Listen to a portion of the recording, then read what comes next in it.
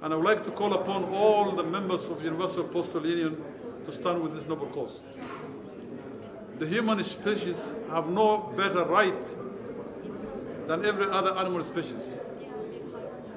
It's a God-given right. We have been given the intellect and the responsibility to protect this world.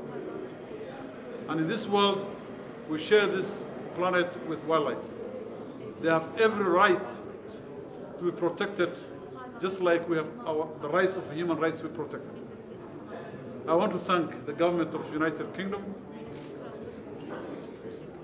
and the leadership of uh, Prince William and many great leaders who have spoken out for these species who cannot be able to speak for themselves.